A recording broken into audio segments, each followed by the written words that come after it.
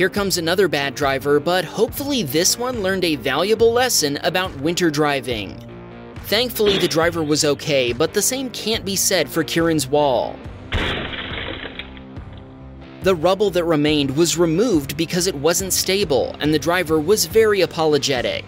Like we said, this was a valuable, albeit expensive lesson about taking corners too fast, and hopefully one that driver won't soon forget.